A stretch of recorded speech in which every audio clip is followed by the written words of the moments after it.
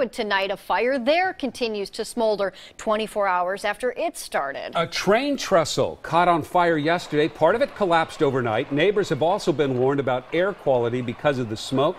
Chris Woodard has been on the scene all day. Chris, what's the latest? Well, if you take a look, you can see that train trestle is now completely gone. And as neighbors here watch this wreckage smoke, they are reliving an anxious night. You could just see smoke going, you know, way up into the sky. It's been a full day since this fire sparked and spread, taking out a train trestle and blanketing the city in smoke. It was pretty bad. It was worse this morning, you know, because you wake up and you just got nothing but the smell. A child walks the street covering his face with a bandana, smoke still drifting through the air. Nervous moments barely passed.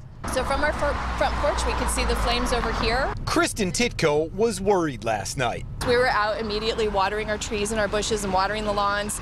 Um, we have kids and we have a lot of pets. So my kids gathered up the pets and all of our electronics and they took off, went to my son's house. And she says it was pretty scary to wake up and find an ember in her yard this morning. I mean, our front yard is nothing but straw, so I thought if one little ember flies over, it's going up. The fire started around 4 Monday afternoon, and crews evacuated businesses as it spread through this field. I learned it was doubling in size every five minutes. It was spreading fast and it was burning intensely. The train trestle burned through the night, and eventually almost all of it collapsed. Come daybreak, firefighters were warning people nearby to stay inside and keep their windows shut because of heavy smoke. The worst part was when I walked outside this morning and opened the front door. The chemical smell was pretty harsh. I learned the trestle wood that was burning had been treated with preservative chemicals like creosote, making the smoke even more dangerous. It was pretty bad. It was worse this morning, you know, because you wake up and you just got nothing but the smell. Late today, crews tearing down what's left of the trestle. And watching closely to make sure things do not take a turn for the worst again.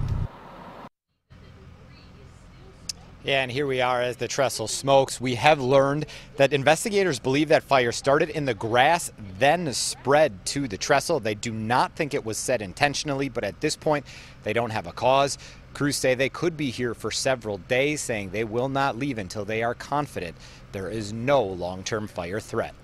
In Sherwood, I'm Chris Woodard for KOIN 6 News.